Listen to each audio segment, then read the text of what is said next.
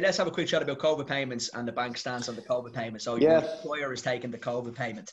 Um, yeah, Yeah, so for- yeah, I'll talk you through. Look, we're Yeah. we're we're dealing with everybody, all our clients, both new and existing, uh, with the COVID payments. It's all brand new to everybody, so everyone's kind of readjusting it and seeing how what the lie of the land is. But we you can get approval with a COVID payment, you can draw down with a COVID payment, but I think we have to kind of roll it back into why why are you in receipt of COVID payment? Uh, like you know, do you work at a bar and now you've no income and you're getting a COVID payment, or your employer's receiving the subsidy uh, because the business turnover is down? So there's a valid reason why uh, you're in receipt of a COVID payment, and that then brings an element of risk. And I think that's the So I'm saying that Denis, sorry to go across you. I'm saying that this Yeah. is really a case by case basis for the underwriting department. yeah. I, I, yeah. I don't like saying case by case because it's a bit wishy washy, you know. Yeah. Um, but let's look at it, the overall picture. So if, if you're on receipt, there's a risk to your job, and you're looking Yeah. at a 30 year mortgage, and we need to show income sustainability over the whole life of the of the loan. And I think that's what we're we're faced into. And it's some some sectors have been hit really hard. Like you talk maybe January, February, you, get an airline pilot, and they're an ideal client, and now you come four months later, and you know, unfortunately not.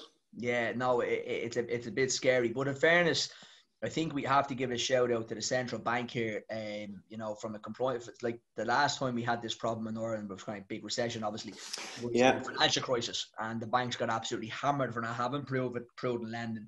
Uh, so you can't blame them for putting those control functions in place as per. And fair, central banks done a really good job of keeping property prices and you know the three point five. I know they're very annoying for people and they're frustrating for people because it's an emotional purchase. But they Especially are in Dublin, yeah. systematic point of view as well. It's not just about what's happening in your little bubble if you're trying to buy your house. Uh, Yeah. But uh, okay, so you're saying that they will, so you will look at them if you are on COVID payment, Yeah. if, your, if your employer is bringing it in or taking the subsidy. Uh, and I know it is wishy washy and, and people hate that, but it really is, I suppose, down to that case by Yeah, what you what you'd like to see now is yeah, people coming after, so businesses coming out, lockdown easing and stuff like that. But I, I see the bigger issue in terms of COVID is- on the overall mortgage applications and not just relating to receiving COVID payment. I think the bigger impact is on. It's no longer good enough for you to come along now with a, a salary certificate and three pay slips.